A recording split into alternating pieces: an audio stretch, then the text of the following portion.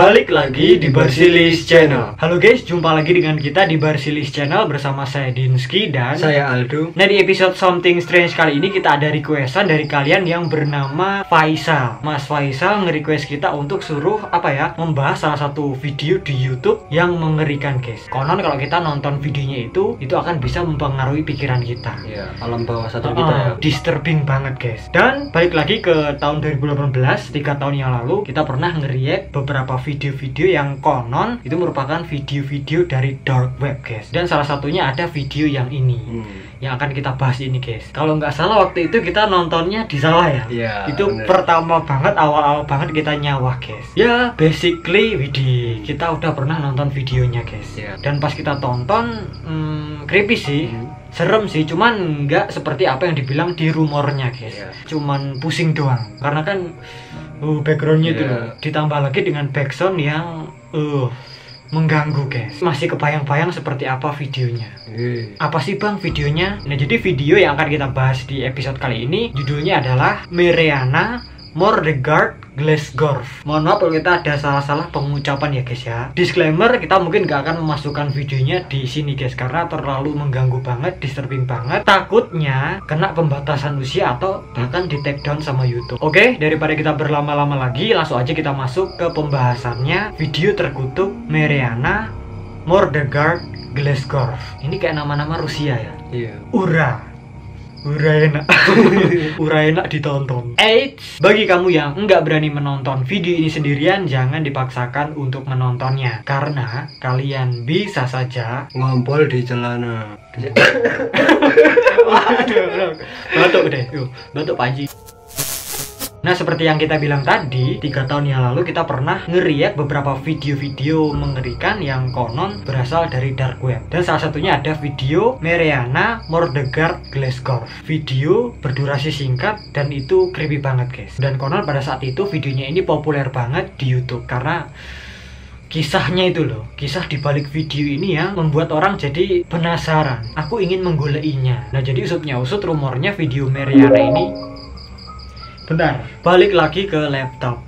Nah jadi rumornya usutnya usut video Meriana ini membahayakan orang yang menontonnya guys. Saking mengerikannya bahkan banyak orang yang nggak berani mencari video ini di Youtube. Dan konon juga kalau kita cari video ini itu nggak gampang. Nggak asal ketik terus muncul guys. Video ini susah untuk dicari. Jadi kita harus ngetik di kolom pencarian Youtube 20 kali baru video ini nongol. Baru kedetek gitu guys. Kalau sekali doang Enggak ada. nggak ada katanya. Tapi pas kita dulu ada ya sekali Iya. ketik muncul Eh, iya guys. Walaupun kita ketik sampai jebol kalau udah dihapus ya nggak bakalan muncul guys. Meriana Mordegard Glasgow. Kalian ketik 20 kali di YouTube maka akan muncul sebuah video misterius. Di dalam videonya ada sosok pria dengan latar belakang merah. Dan warna merahnya tuh bukan warna merah yang biasa-biasa aja guys. Warna merah darah Wah, Benjreng gitu. Ya. pekat gitu loh guys kalau ditonton mata pun ya nggak nyaman jadi ya pada dasarnya semuanya itu merah guys cuman ada seorang laki-laki dengan tatapan yang tajam melotot gitu tanpa ekspresi seingat kita belakangnya itu mirip-mirip kayak kita ini guys kayak ada asap-asap atau langit gitu Iya. kalau nggak salah di detik keberapa gitu di matanya si prianya itu Hmm. kayak muncul sesuatu gitu Iya. ya nggak sih Oh. intinya ada pergerakan di matanya cuman gini terus terus agak geter-geter gini kan Iya toh? Mungkin karena efek videonya. Dan yang lebih seremnya Konon ada sebuah rumor yang mengatakan Beberapa orang yang udah nonton videonya ini Itu mm, Mencongkel matanya sendiri guys. Dan parahnya Matanya itu tadi dikirim ke kantor Youtube guys. Banyak orang-orang yang melakukan bunuh diri Setelah nonton video Meriana ini guys. Dan karena itulah akhirnya pihak Youtube Menghapus videonya itu dari Youtube. Karena ya udah ada korban gitu loh. Dan Iya. itu enggak satu dua guys. Ada beberapa. Dan bahkan konon katanya ada seorang staff YouTube pas nonton videonya ini di detik ke 45 dia langsung teriak-teriak gitu guys. Sampai-sampai harus minum obat penenang. Karena ya kayak kesurupan gitu guys. Gerak-gerak kalau kata orang Jawa bilang. "Ah, ah," mungkin gini-gini ya. "Ah, ah," out of control. Udahnya dikasih obat tenang. Pas ditanya-tanya dia nggak inget guys. Nggak inget apa-apa. Amnesia sementara gitu ya. Iya, kayak apa ya? Ingatan jangka pendek. teriak dikasih obat penenang kan dia tidur Oh iya. Nah, dia siuman terus ditanya lupa. Nah, karena kisah-kisah itu tadi, jadi videonya ini viral. Ya bisa dibilang cerita-ceritanya itu apa ya? Kayak bumbu Iya. Pelengkap. pelengkap biar orang-orang itu pada penasaran dan mencari tahu. Kayak semacam cerita creepypasta. Karena kan kebanyakan cerita-cerita yang seperti ini model beginian creepypasta cenderung dilebih-lebihkan, Iya. diuah-uahkan.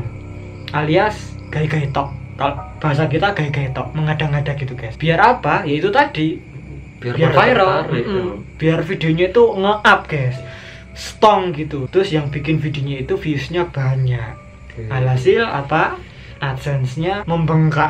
Pokoknya habis itu banyak banget simpang siur mengenai video Meriana Mordegrat Glasscorp ini. Tapi kita cari tahu guys apakah ini bener-bener cerita asli pernah kejadian atau mungkin cerita fiksi doang dibuat-buat doang. Dan ini dia fakta video Meriana Mordegrat Glasscorp Mordegard bukan Mordegrat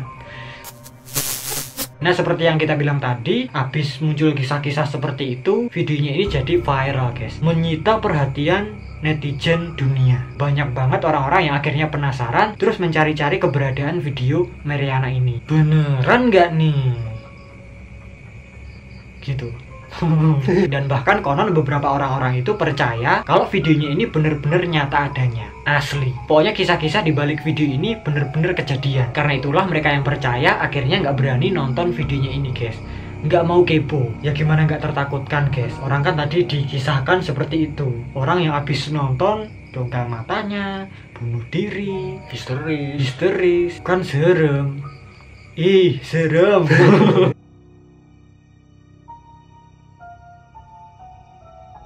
Tapi pertanyaannya, apakah video yang ada di YouTube itu asli atau enggak? Apakah fake atau real?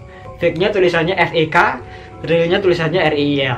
Apa mungkin juga asli, tapi cerita-ceritanya itu cuma dibuat-buat doang, dilebih-lebihin gitu. Padahal ya pas kita nonton videonya, itu nggak ada apa-apa. Nothing happen. Iya, biasa aja ya. Uh, Dan ternyata eh ternyata emang bener guys Video Meriana ini cuman hoax semata Dibuat-buat doang. Kisah tentang Meriana ini udah muncul di tahun 2008 silam Di situs creepypasta.com Udah 13 tahun ya. Nah kenapa kok bisa heboh di Youtube? Itu karena ada seseorang yang membuat remakean dari videonya ini guys. Dan waktu itu kalau nggak salah pertama kali diupload sama Broken and Drive. Nah itu guys habis diupload jadi banyak orang yang mengkait-kaitkan videonya ini dengan cerita itu tadi. Akhirnya jadi viral banyak orang-orang yang nge-upload dan bikin video yang lainnya. Pokoknya banyak banget versi-versi yang berbeda bermunculan. Akhirnya jadi pada heboh guys. Menghebohkan jagat dumai. Kemudian si Broken and Drive ini mengklarifikasi konfirmasi kira-kira kayak gini. Selama beberapa hari pertama aku menyaksikan dengan perasaan tidak percaya ketika jumlah orang yang melihat video tersebut terus bertambah dan bertambah. Jika ingatanku nggak salah video milikku kembali diunggah ke YouTube oleh seseorang. Satu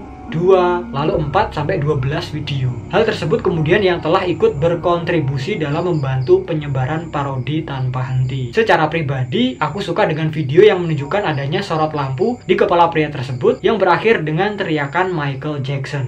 Hihi.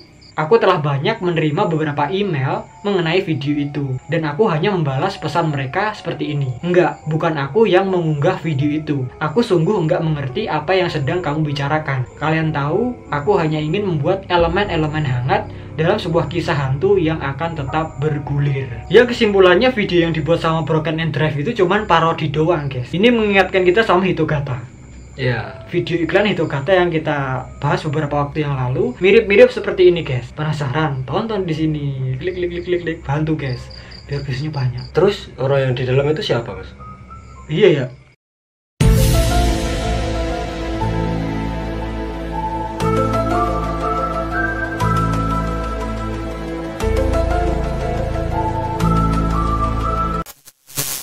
ternyata eh ternyata setelah kita selidik-selidik itu merupakan foto seseorang yang bener-bener ada guys. Jadi foto itu atau orang itu bukanlah tanpa identitas. Ada namanya. Namanya adalah Mas Byron Cortez itu kalau logat Jawa kalau logat Inggrisnya Byron Byron.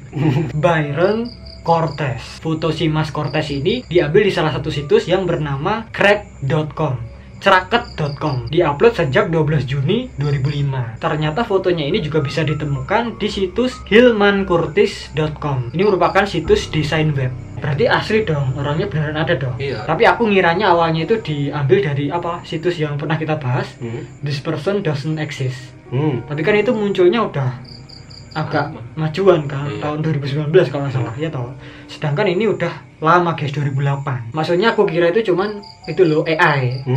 hmm. artificial intelligence deepfake Nggak nyata Ah, gitu ya. nggak nyata